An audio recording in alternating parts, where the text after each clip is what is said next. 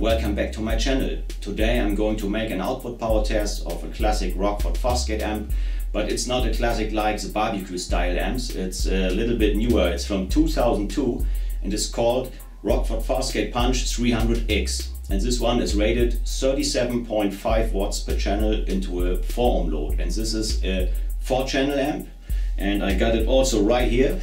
It's a nice example of an amp, looks pretty clean and here are the ratings. And the difference I noticed is that Rockford rated this amp at 1% THD. Back in the 90s they rated these amps with 0.05 or 0.1% THD. So I don't know if this one is comparable to a older amp from the classic series. I think it can be similar to a Punch 240X4 which I also dynoed some videos ago and uh, let's see what this baby can do at 4 ohms, 2 ohms and yeah, stay tuned. Let's go and check it out. I start to give signal input. Goes higher and higher. Try to avoid clipping.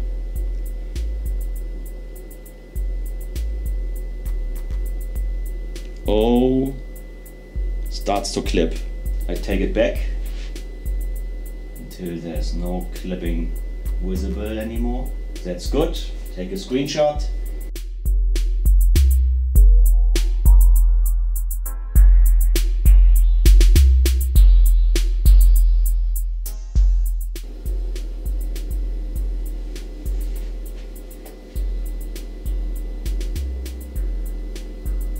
Oh, clipping is coming in. Just go back until it looks clean. Now it looks clean, I take a single shot.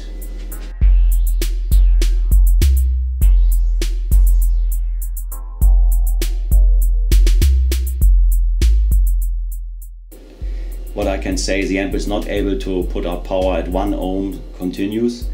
Um, it only delivers around 45-50 watts. And dynamically I got around 17.2 volts peak and 12.1 volts RMS. That equals 147 watts dynamically 1 ohm. I will say minimum load for this amp is uh, 2 ohms.